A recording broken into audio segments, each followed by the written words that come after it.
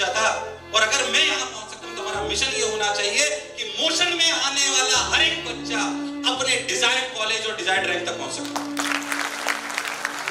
हमारा मिशन ये नहीं होना चाहिए, मैं कभी मंच के माध्यम से नहीं कहता। मैं नहीं कहता हूँ कि हमें ये नहीं करना है हमें करना है, पर हम मंच के माध्यम से कभी नहीं कहते कि हमें पाँच लाख बच्चे हैं, सिर्फ़ हमारा लक्ष्य है। हमारा लक्ष्य है कि मोशन में आने वाला हर बच्चा सेलेक्ट होना चाहिए। अरे जब लोग कहते थे कि हम कोचिंग नहीं चला सकते तो हमने ऐसी विषम परिस्थिति में इसको और आज चल नहीं रही है, दौड़ रही है।